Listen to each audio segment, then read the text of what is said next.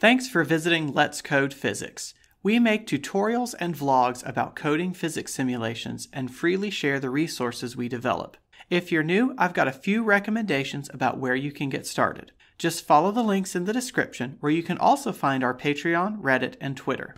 The best place for beginners to get started is VPython for Beginners. If you're in high school or algebra based physics, check out Coding for High School Physics.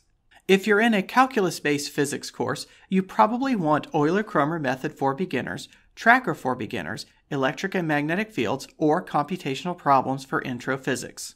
You can also check out Let's Build a Solar System or Introducing Relativity for some neat special topics.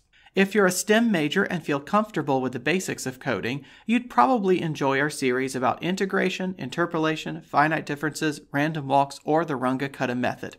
Basically, if there's a coding method you're using in your class, we probably have a series about it. And if you don't find what you're looking for, let us know in the comments below or on our subreddit. Thanks for watching. I'll see you around.